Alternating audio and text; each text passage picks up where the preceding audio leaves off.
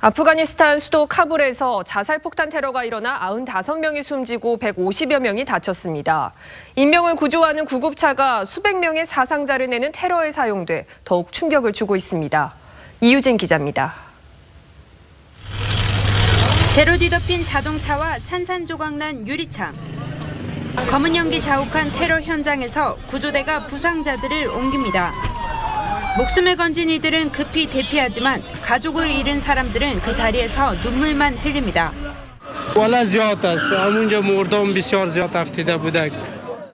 아프간 수도 카불에서 자폭 테러가 일어난 건 현지 시각 27일. 테러범은 대담하게도 보안이 철저한 대사관 밀집 지역을 노렸습니다.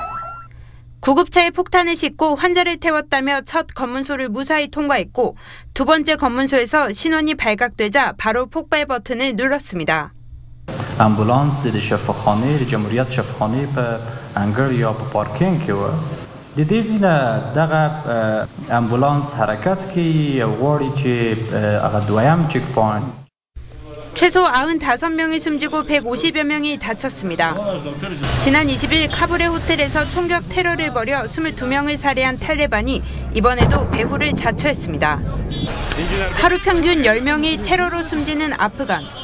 잇따르는 테러에 국제사회의 우려가 커지고 있습니다. TV조선 이유진입니다.